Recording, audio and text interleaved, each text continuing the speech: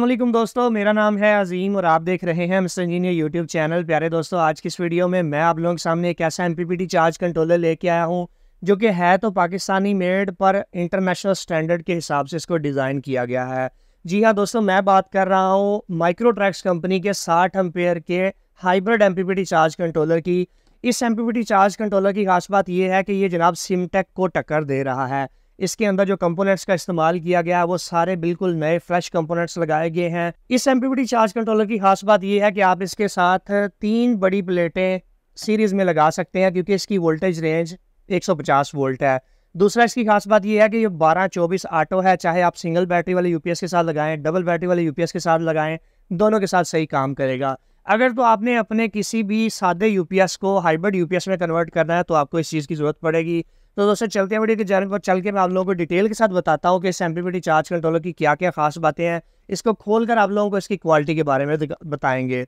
Channel पर नए आने वाले दोस्तों से गुजारिश है कि वीडियो को लाइक करके चैनल को ज़रूर सब्सक्राइब कर दीजिएगा। अभी दोस्तों, बात करते हैं एम की ओवरऑल लुक की। आप लोग यहाँ पर देख सकते हैं कि बड़े साइज़ की एक आप लोगों को डिस्प्ले स्क्रीन देखने को मिलती है, जिसे हम ग्राफिक डिस्प्ले भी बोल सकते हैं। चार बटन देखने को मिलते हैं, जिनकी मदद से आप इस एम की सेटिंग को कर सकते हैं पैरामीटर्स को सेट कर सकते हैं। इसके अलावा साइड पर तीन एल देखने को मिलती हैं पीवी की इंडिकेशन बैटरी की इंडिकेशन और ग्रिड की इंडिकेशन आप लोगों को यहाँ पर देखने को मिलती है। अगर बात करूँ निचली साइड की तो यहाँ पर आप लोग अपनी वॉपडा इनपुट देंगे, जिसमें सिर्फ़ आपने फ़ेज़ लगाना है। सेंटर में आप लोगों ने अपनी बैटरी लगानी है और यहाँ पर आपने अपने सोलर पैनल के कनेक्शन करने हैं। सबसे पहले बैटरी लगनी है, फिर जनाब आपने सोलर पैनल लगाने हैं और यहाँ पर आप अपनी वॉपडा को कट ऑफ़ कर सकते हैं। जो हाइब्रिड का फ़ंक्शन है वो यहाँ से ऑपरेट होगा। अगर बात करें ऊपर वाली साइड की तो यहाँ पर आप लोगों को इजाज फ़ैन देखने को मिलता है जो कि इसकी गर्म हवा को बाहर निकालने के काम आता है। अभी दोस्तों हम इस चार्ज कंट्रोलर को ओपन करके आप लोगों को ये चेक करवा देते हैं कि इसके अंदर बिल्ड क्वालिटी इसकी किस तरह की है कौन कौन से कंपोनेंट इसके अंदर इस्तेमाल किए गए हैं। मैंने सब स्क्रूज़ को रिमूव किया हुआ है, इसके बोर्ड के सब स्क्रूज़ को रिमूव किया हुआ है, ये है जी जनाब इसका पीसीबी बोर्ड इसको भी हम देखते हैं। सबसे पहले बात करते हैं डिस्प्ले यूनिट की। डिस्प्ले यूनिट आप लोग यहाँ पर चेक कर सकते हैं माइक्रो कंट्रोलर के थ्रू कंट्रोल करवाया जा रहा है। और इसके अलावा अगर मैं डिस्प्ले की बात करूँ, चार अदर जो बटन है, ये इसकी प्रोग्रामिंग को कंट्रोल करने के काम आते हैं, जिनकी वजह से इसकी प्रोग्रामिंग की जाती है। इसका जो डिस्प्ले है वो इन्वर्टर की तरह का डिस्प्ले जिस तरह एक इन्वर्टर का डिस्प्ले होता है। कूलिंग फ़ैन यहाँ पर आप लोगों को देखने को मिलता है। बॉडी की फिनिशिंग काफ़ी अच्छी है। अभी बात कर लेते हैं बोर्ड की। बोर्ड के अंदर जो चीज़ें मुझे अच्छी नज़र आई है, वो मैं आप लोगों को बता देता हूँ।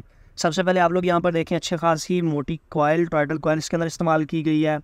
इसके अलावा जनाब जो कंपोनेंट्स हैं, वो सारे ही मुझे नए नज़र आ रहे हैं। आप लोग यहाँ पर देख सकते हैं कैपेसिटर जो हैं, वो अच्छी क्वालिटी के लगाए गए हैं। स्क्रू टर्मिनल अच्छे लगाए गए हैं इसके अंदर। सारे कंपोनेंट्स जो हैं, वो बिल्कुल ब्रांड न्यू हैं। और यहाँ पर रिले आप लोगों को तीस अम्पेयर की देखने को मिलती है, जो कि हाइब्रिड का काम करती है। बैक साइड की बात कर ली जाए तो जनाब आप लोगों को एक बड़े साइज़ का हीट सिंक देखने को मिलता है, जो कि होना भी चाहिए एक साठ अम्पेयर के कंट्रोलर के अंदर। अगर मैं बात करूँ इस साइड की तो यहाँ पर इकतालीस पंद्रह एफ़ आप लोगों को नज़र आ रही हैं। डबल डायोड आप लोगों को यहाँ पर नज़र आ रहा है। इसके अलावा मजीद पीसीबी की अगर मैं बात करूँ तो टू लेयर पीसीबी है इंपोर्टेड पीसीबी है। टोटली मेड इन पाकिस्तान है जस्ट पीसीबी बाहर से इंपोर्ट की गई है इसकी। अभी हम इसको लगाकर आप लोगों को इसकी परफॉर्मेंस चेक करवा देते हैं कि ये चलने में कैसा है। दोस्तों, जैसा कि आप लोग यहाँ पर देख सकते हैं कि एमपीपीटी चार्ज कंट्रोलर को हमने वक्ती तौर पर यहाँ पर लगा दिया सबसे पहले इसके डिस्प्ले इंटरफेस के बारे में आप लोग समझ लें, ताकि आप लोग आगे इसकी परफॉर्मेंस चेक करवा सके। आप लोग यहाँ पर देख सकते हैं, यहाँ पर आप लोगों को बैटरी के वोल्टेज नज़र आएँगे। यहाँ पर आप लोगों को बैटरी में डिलीवर होने वाले अम्पेयर नज़र आएँगे, जो बैटरी के अंदर जा रहे हैं। दूसरे नंबर पर जनाब, यहाँ पर पीवी के वोल्टेज नज़र आएँगे कि सोलर पैनल से कितने वोल्टेज आ रहे हैं सोलर पैनल से कितनी करंट आ रही है।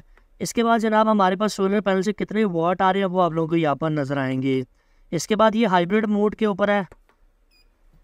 ये इसकी सेटिंग के लिए ऑप्शन है। सेटिंग अगर करना चाहते हैं तो उसके ऊपर इंशाल्लाह डिटेल से हम अलग से एक वीडियो बनाएँगे। सॉफ्टवेयर वर्जन आप लोगों को नज़र आ जाता है। अभी मैं इसके साथ सोलर पैनल को कनेक्ट कर देता हूँ। अगर बात करें सोलर पैनल की तो आप लोग यहाँ पर देख सकते हैं दो कैनेडियन एन टाइप पाँच सौ अस्सी वाट मैंने सीरीज़ के अंदर यहाँ पर लगा कर रखे हैं। तो जैसा कि आप लोग यहाँ पर देख सकते हैं हमारी बैटरी के वोल्टेज इंक्रीज होना शुरू हो चुके हैं। पीवी की लाइट आप लोगों को यहाँ पर ग्लो करती दिखाई देगी। बैटरी की लाइट इसलिए ब्लिंक कर रही है कि आपकी बैटरी इस वक्त चार्ज हो रही है।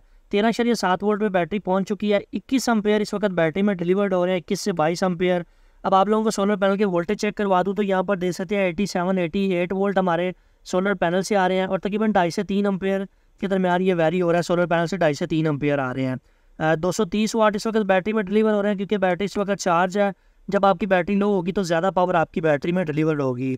अब आप लोग ये देखें कि इसने दो शरीय सात अम्पेयर को बूस्ट करके सोलह शरीय पाँच अम्पेयर में कन्वर्ट कर रहा है। अब इस चीज़ को हम लाइव भी चेक कर लेते हैं। ये मेरे पास क्लैम मीटर है। क्लैम मीटर को मैं चालीस एम्पेयर के ऊपर सेट करके यहाँ से ज़ीरो सेट कर लेता हूँ।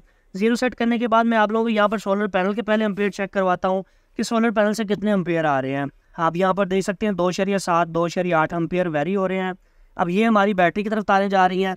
तो बैटरी के अंदर आप लोग यहाँ पर देख सकते हैं कि अच्छे खासे एम्पेयर आप लोगों को डिलीवर होते हुए दिखाई दे रहे हैं। सोलह से सत्रह एम्पेयर बैटरी में जा रहे हैं। ये जनाब हमारे सोलर पैनल से अम्पेयर आ रहे हैं। अब आप लोग खुद ही इसका चेक कर लेंगे कि कितनी बूस्टिंग कर रहा है, कि दो शरिया तीन अम्पेयर दो शरिया पाँच अम्पेयर को ये बूस्ट करके हमारी बैटरी के अंदर पंद्रह से सोलह अम्पेयर डिलीवर कर रहा है और परफॉर्मेंस आप लोगों के बिल्कुल सामने है। मैं अपनी बैटरी के ऊपर लोड डालता हूँ तो आप लोग यहाँ पर चेक कीजिएगा कि इसके ऊपर अम्पेयर आप लोगों को वेरी होते हुए दिखाई देंगे, ज़्यादा आप लोगों को अम्पेयर दिखाई देंगे। चलें जी, चलाएँ।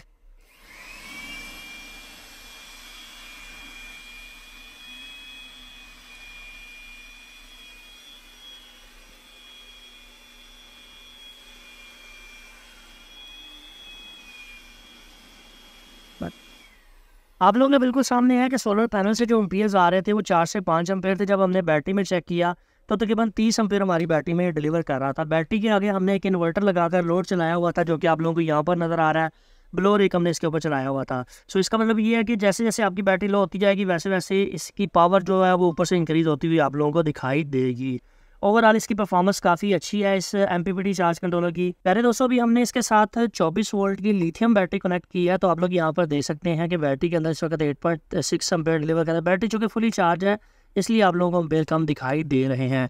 जो सोलर पैनल से अम्पेयर आ रहे हैं, वो दो अम्पेयर आ रहे हैं। बैटरी फुल होने की वजह से आपको यहाँ पर आठ अम्पेयर शो हो रहे हैं, क्योंकि अट्ठाईस वोल्ट पे हमारी बैटरी पहुँच चुकी है। यहाँ पर बैटरी आप लोगों को चार्जिंग इंडिकेशन आ रही है और पीवी की इंडिकेशन आ रही है। यानी बारह, चौबीस ऑटो दोनों के ऊपर काम करता है। बगैर किसी सेटिंग के आप इसको डायरेक्टली चला सकते हैं। इसमें मुझे एक चीज़ अच्छी लगी है कि इस कंट्रोलर का अभी तक फ़ैन टर्न ऑन नहीं हुआ। आ, मैंने जब इसको देखा तो मुझे पता चला कि इसका फ़ैन जो है वो टम्परेचर के साथ लिंक है। जब आपका टम्परेचर ज़्यादा होता है तब इसका फ़ैन जाकर आपका चलना शुरू होता है। अगर मैं हीट को हाथ लगाऊँ तो मुझे यहाँ पर हीट बिल्कुल नॉर्मल कंडीशन में दिखाई दे रहा है। बहुत ज़्यादा हीट नहीं है बिल्कुल नॉर्मल जो है वो हीट हो रहा है। जो कि एक अच्छी चीज़ है। इसका मतलब ये है कि इसका, ये एम काफ़ी लॉन्ग लाइफ चलने वाला है, काफ़ी देर पर चलने वाला है, क्योंकि इसके अंदर हीट सिंक का मैंने आपको दिखाया कि काफ़ी अच्छा हीट सिंक इसके अंदर लगाया गया है।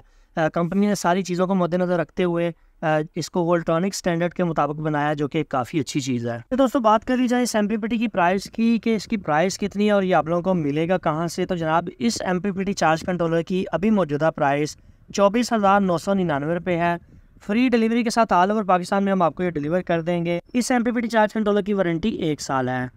सो so, दोस्तों जैसा कि आप लोगों ने देखा कि हमने आप लोगों को डिटेल के साथ बताया कि वन ट्रॉनिक्स कंपनी का ये बेहतरीन M charge controller double layer PCB के साथ वन ईयर वारंटी के साथ आप लोगों को देखने को मिलता है जो कि एक अच्छी चीज़ है। इंशाल्लाह आने वाली वीडियोस के अंदर हम इसको कंपेयर करेंगे सिमटेक के साथ और आप लोगों को दिखाएँगे कि दोनों के रिज़ल्ट में क्या फ़र्क हमें देखने को मिलता है। फैसला आप दोस्तों ने करना है कि कौन सा एमपीपीटी बेस्ट है। सो so, फाइनली दोस्तों आज की वीडियो यहीं तक थी। उम्मीद करते हैं आप दोस्तों को पसंद आई है। वीडियो पसंद आने के बाद में वीडियो को लाइक ज़रूर कर दीजिएगा और अपने दोस्तों के साथ शेयर कर दीजिएगा। अपना बहुत सा ख्याल रखिएगा अपनी दुआ में याद रखिएगा। अल्लाह हाफिज़ पाकिस्तान जिंदाबाद।